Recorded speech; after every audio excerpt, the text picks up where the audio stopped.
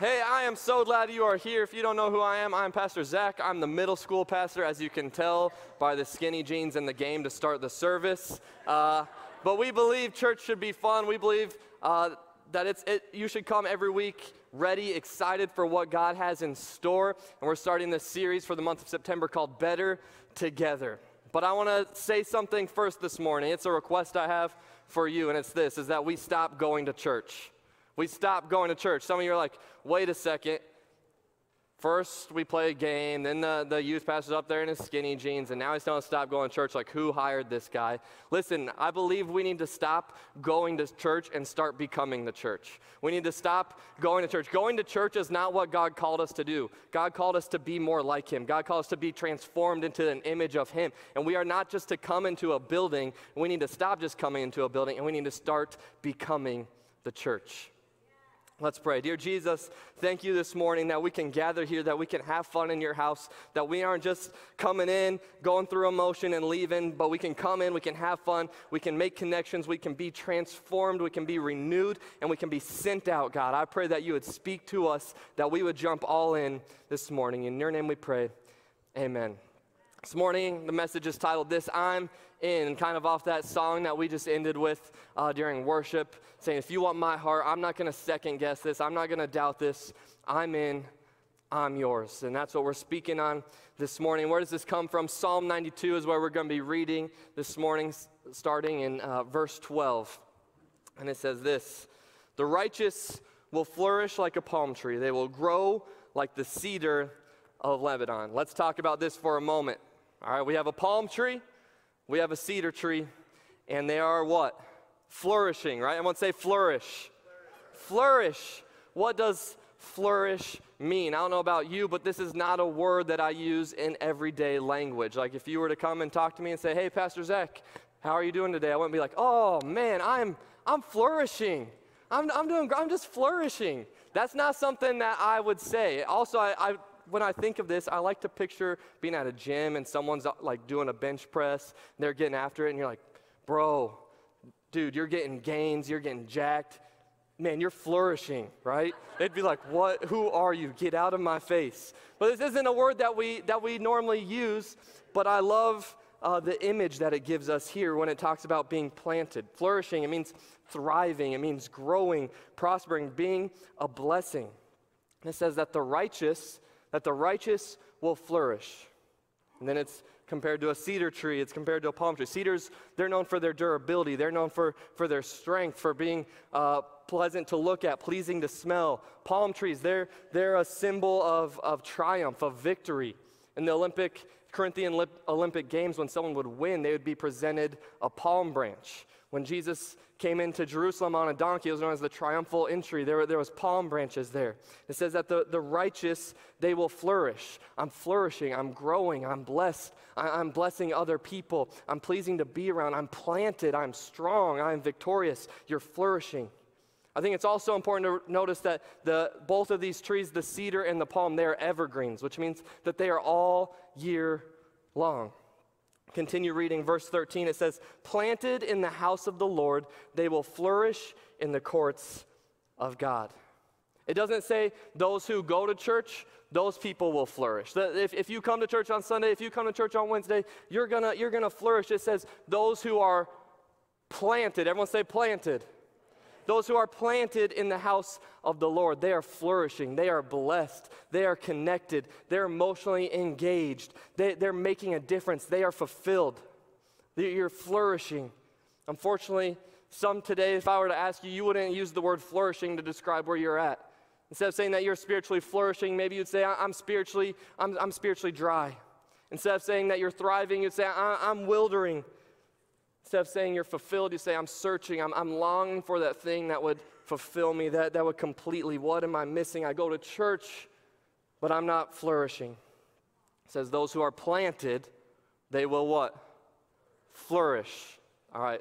You guys can be louder than the 8, 8 o'clock service, all right? 8 o'clock service, I was all sorts of jacked up because I just drank a, a coffee and they all just stared at me, so I need a little bit back from you guys, all right? All right, so the planted they will they'll flourish. Now, when I read this, I'm like, God, sign me up. I want to be a tree. I'll be a cedar. More importantly, I'll be a palm tree. Send me to Florida, God. I'll do that. I'm in. I'm yours. Florida. But what I've realized is this is where lots of us can be. Where, where we're like, I want to be a tree. I want to be strong. I want to be growing so big in my faith. But God, what I've realized about God is He doesn't plant trees, He plants seeds. Lots of times we want to be this big tree, but we have to realize God doesn't plant trees, He plants a seed. And you need to recognize that your life is a seed. You are a seed. What, what is that? A seed has tremendous potential to potential to grow, to, to thrive, to multiply, produce fruit, to be a blessing to others. But a seed, a seed has uh, that is not planted has potential to lie dormant, to be unfruitful, to, to be unproductive, dissatisfied. Your life is a seed. What do we know about seeds? A seed can only grow if it is planted. It can't grow just lying there. It needs to be planted. Who flourishes? Those who are planted in the house of the Lord, those who are planted in church. Matthew 13, Jesus gives us this parable of this farmer. And he says this, starting in verse 3 A farmer went out to sow his seed. As he was scattering the seed, some fell along the path, and the birds came and ate it up. Some fell on rocky places where it did not have much soil. It sprang up quickly because the soil was shallow. But when the sun came up, the plants were scorched and they withered because they had no root. Other seed fell among thorns, which grew up and choked out the plants. You see the metaphor here. Some people, they have potential to, to grow, but they never go anywhere. They, they just stay where they're at. They, they never go deeper. Some, they start to grow, but then they fade away. They, they start and they, are all excited at, in one moment, church, and then they slowly fade away. Some start to thrive spiritually, but the worries and the concerns and the stress of this life, they, they choke them out. But then Jesus said in verse 8, still other seed fell on good soil. What soil? Good soil, where it produced a crop. A hundred, sixty, or thirty times what was sown. Whoever has ears, let them hear. That one seed, it becomes a blessing because it was planted in good soil. It was planted in good soil. It didn't just, it didn't just lay there. It wasn't on a rocky spot. It was planted in good soil. This one seed becomes a massive blessing to all, all these people. It produces fruit because it was planted in the house.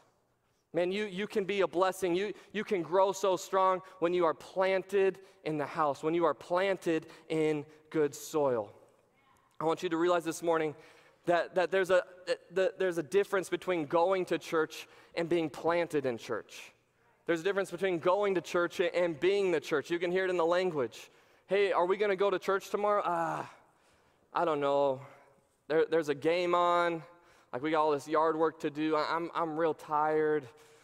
I mean, I guess if we go, you know, we could go out to eat afterwards or something like that. I, am not sure. Are, are we going to go to church? Listen, when you are planted in the house, you don't ask, Are we going to church?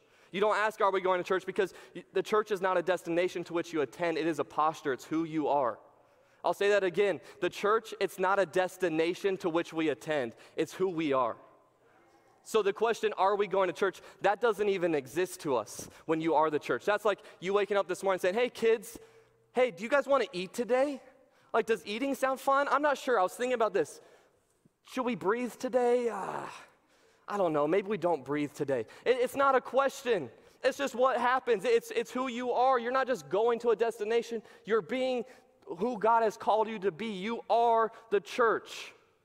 Someone here this morning say, I want to be planted. I want to be the church. I don't want to just question, am I going to church? Anybody here this morning saying, I want to be planted in the house? Come on, let's get excited about that. The Greek word for church is, is ecclesia. Everyone say that, ecclesia. Scholars in this house. It means to gather, it means to assemble.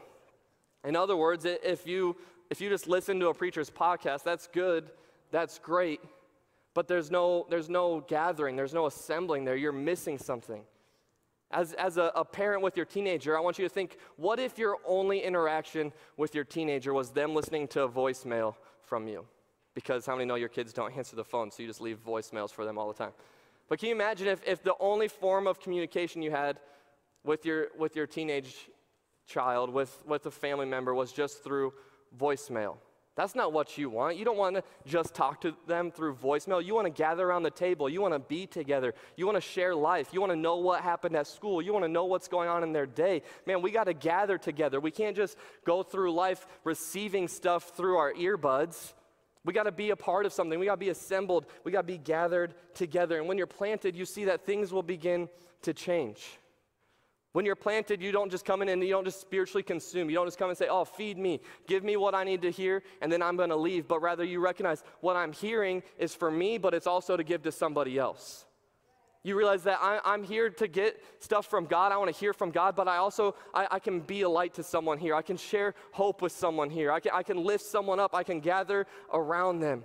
When you realize that you are planted in the house rather than just coming to, to church, you realize that the church it doesn't exist for you.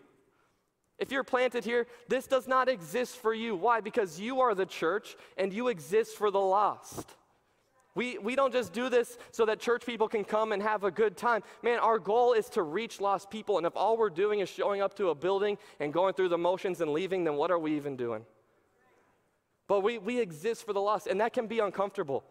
That can mean things happening the way that maybe you don't like it, some, some songs being sang that, that you don't like some style of thing happening that, that's not your favorite. It costs money, it's uncomfortable, but guess what? It could reach lost people. You recognize that this isn't for me, but I'm here and I'm here for them.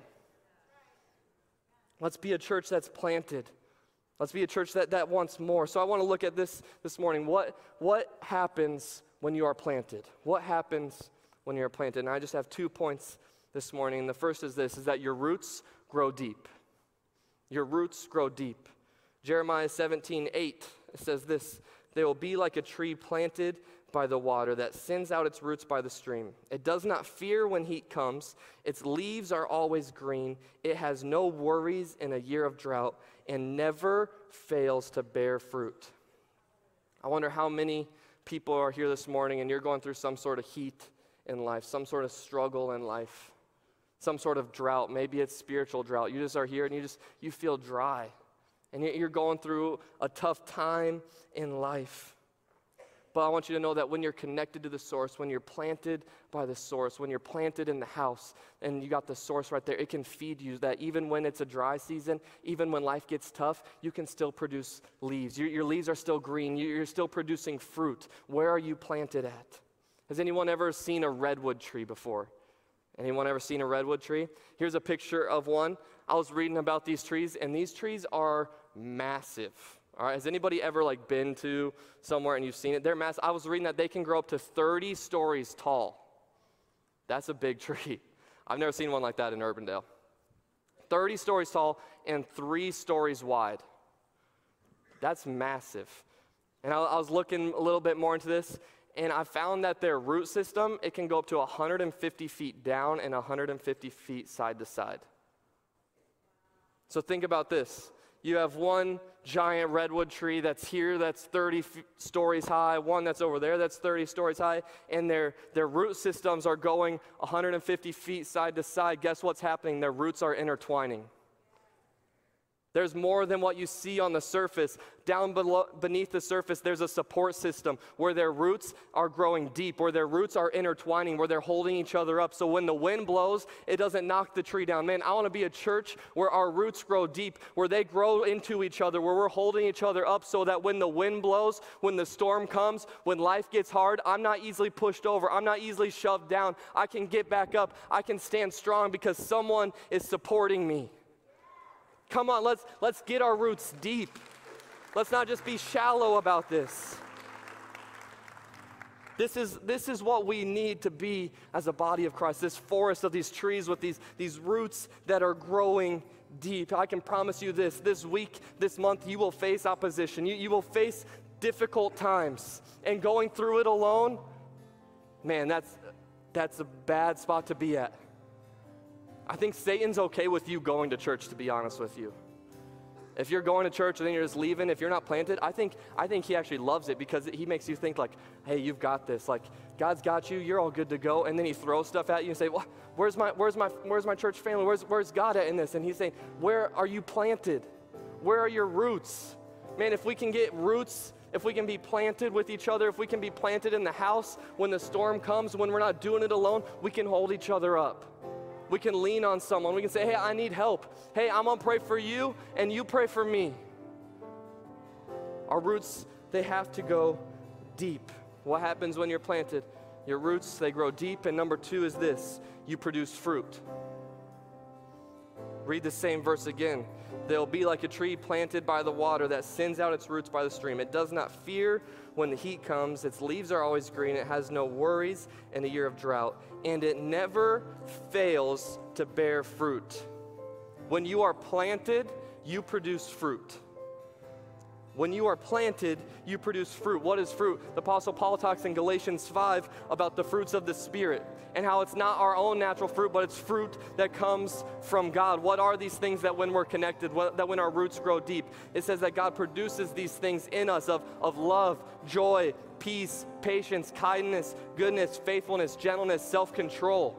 When we're planted, we bear these fruits. We produce fruit when we are planted good things come out. Man, you're wondering why, why when this happens, do bad things always come out? Right? Some of you guys, you can't tame the tongue. You're like, ah, I almost get in a car accident every time I say this word. Every time this happens, all my kids do this, every time I, I flip out. Oh man, that my boss does this, and every time I, I, the thoughts that come in my head, you're saying, why don't good things come out? When you're planted and your roots grow deep, you produce fruit. And that fruit isn't even necessarily for you. That love, it's for someone else. That joy that God gives you, it's contagious. Man, we, we need to be planted so that, so that we can be full of what is good and so that we can give, so that we can be a blessing to others. But we, we were planted. You are, I want you to know this, New Hope, that you are needed here at New Hope. This church, you might think this church is, is so big.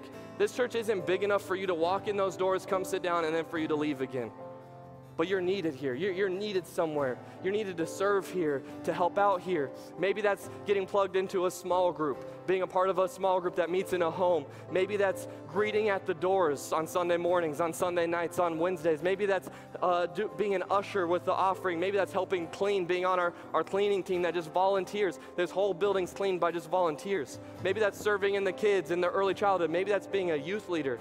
Man, I have so many youth students that come in every week without a mom or a dad who, who don't come at all to the church on Sunday mornings. They're, they're coming all on their own on Wednesday nights. They don't have a mom or a dad. And you're saying, I'm too old to be a youth leader. Man, these kids, they need a spiritual father. They need a spiritual mother, spiritual, a grandma, a grandfather. Man, serve somewhere. Get plugged in. Don't just sit there and consume, consume, and then leave. Man, serve, be a part of something bigger than yourself. You are needed here, so get planted. If you would stand across this room this morning as we prepare to close,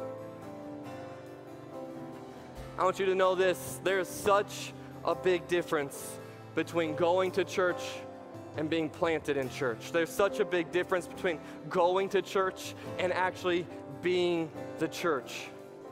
Do you really think that you'll be able to face the struggles of life by just coming to church once a month or so? Do you really think that when you spend more money on coffee than you give to missions, that you're really becoming a true disciple of Jesus? Do you think that when we spend more time on Facebook, Instagram, social media than we do serving others, that we are really being transformed into the image of Christ? Do you believe that, that when that your, your child, your family is being planted into the house when they're going to sports instead of church? But no, we need to we need to make this decision this morning saying, you know what? I'm in. I'm planted. I'm flourishing. I, am connected. My roots, they're growing deep. I'm bearing fruit. I'm being a blessing to others. How are you doing? I'm flourishing. I'm blessed. I'm, I'm blessing others. I, I'm connected. I'm praying for them, and they're praying for me. I'm a part of this. My roots, they're deep, they're intertwined. So let's sing this out this morning and say this, declare, I'm in, I'm yours, God.